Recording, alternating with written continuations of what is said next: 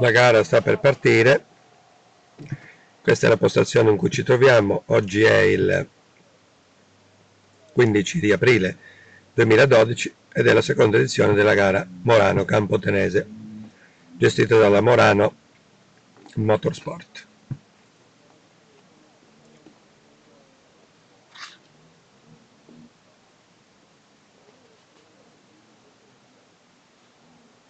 Anche oggi le condizioni climatiche sono quelle che sono, c'è cattivo tempo, sta quasi per piovere e noi siamo qui accanto alle forze dell'ordine altri veicoli che controllano la situazione, protezione civile, tutto il rimanente, per vedere questa manifestazione. Saranno due mance, ricordiamo. Hey,